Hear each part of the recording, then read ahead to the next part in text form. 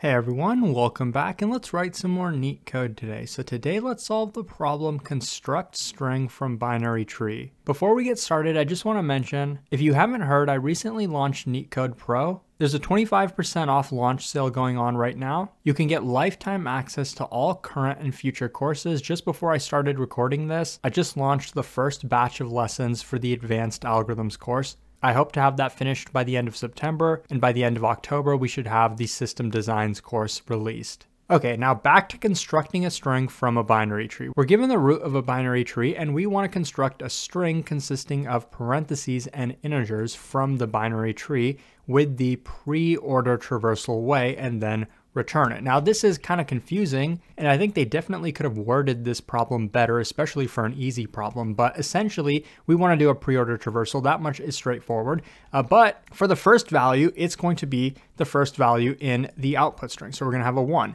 Then we want to do the same thing, a pre-order traversal for the entire left subtree, but we want to put the entire left subtree within a set of parentheses. So now we want to put the entire you know, all the values from the left subtree in this parentheses. So we do that, we have two, so we put the two there, but now for two, recursively, we wanna repeat this. So we wanna put its entire left subtree in a set of parentheses.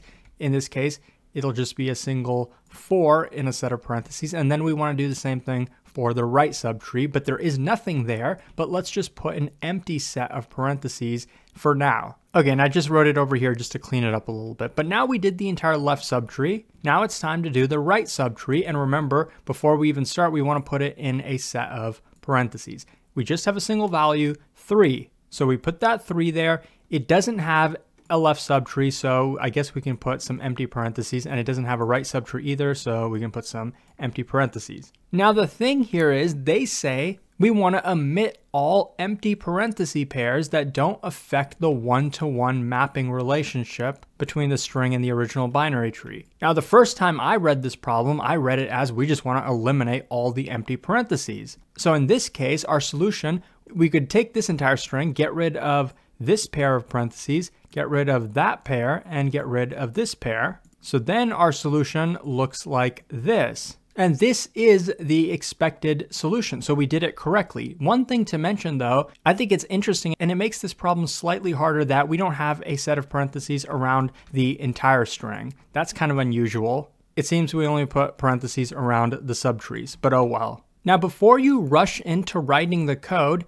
there's actually a second example for this problem that illustrates, you know, what they mean by that one-to-one -one mapping relationship. First of all, this output string that we have is not ambiguous. It tells us that the root node is one, it has a left subtree, that root of the left subtree is a two, and that two has a left child, four, and that 2 does not have a right child because if it did, it would have some parentheses over here, but it doesn't. And then we get the right subtree, which is just a 3, and of course it doesn't have any children. This is not ambiguous at all. But instead, if we took this 4 node and it was actually a right child of this 2, and then we ran the same algorithm on this tree, we would end up getting a similar string to this one. The only difference would be that we would actually have an empty parentheses in the spot of this, and the 4 would be over here because the left child of 2 is empty, but the right child is 4.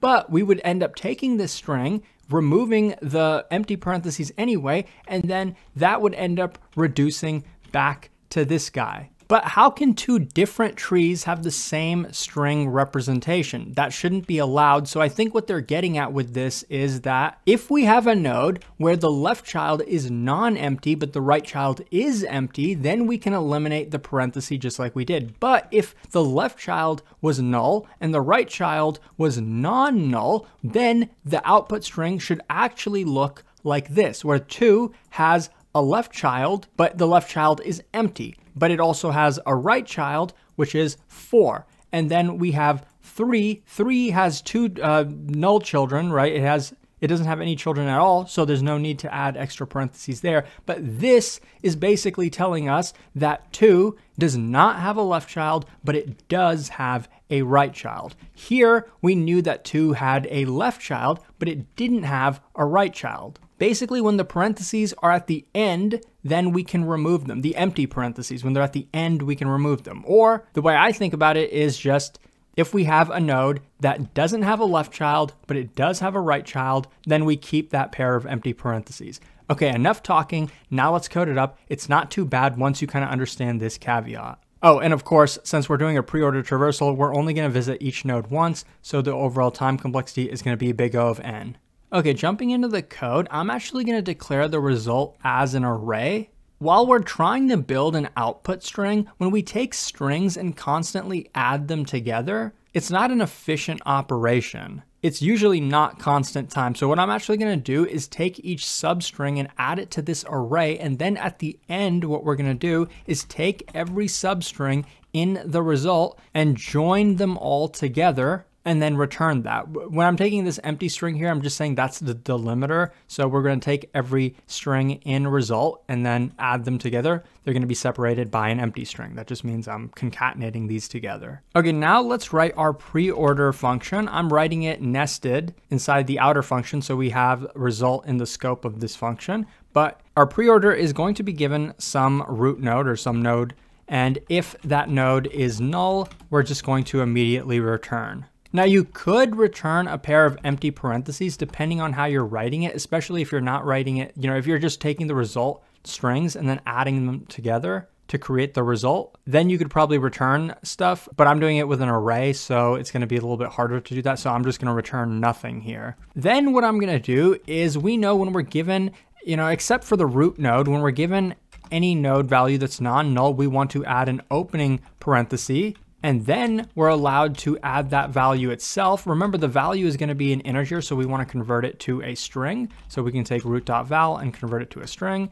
And then before now we append that closing parenthesis, before we do that, we have to also run pre-order traversal on the left and right subtree. So we're gonna run pre-order root.left, pre-order root.right. And it's as easy as that. But believe it or not, there are some issues with this code. The first one is relatively simple. The way this code is written, it's gonna put a pair of parentheses around every single node. In this case, even the root node, but we don't want a pair of parentheses around the root node. The pair should be around every subtree, but not the root node. So this result is incorrectly going to look something like this, where it's, you know, one, let's say is the root node, two is the left node, and then three is the right node. It's gonna look like this, but we don't want it to look like this. We don't want that outer pair of parentheses. So the easiest way to get rid of them is just to take this string, this is a string by the way, and then we can get rid of the first character. So we're going to start at index one and we're going to go up until the last index, but not including the last index. Negative one is the last index in Python,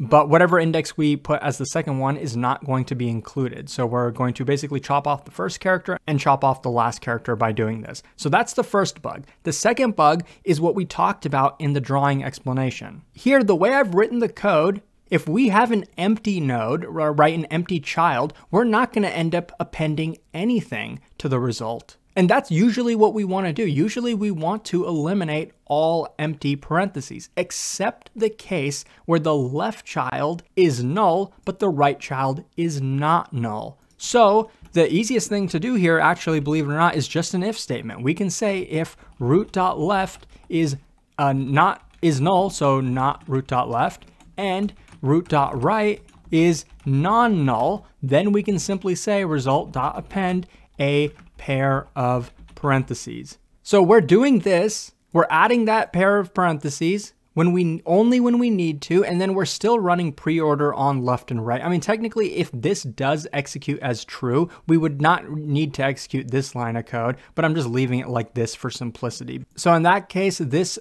pre-order traversal would just immediately return, but this pre-order traversal would still end up adding that right subtree. Oops, I guess we had another couple bugs. First of all, we should not be appending to the root. The root is a tree node.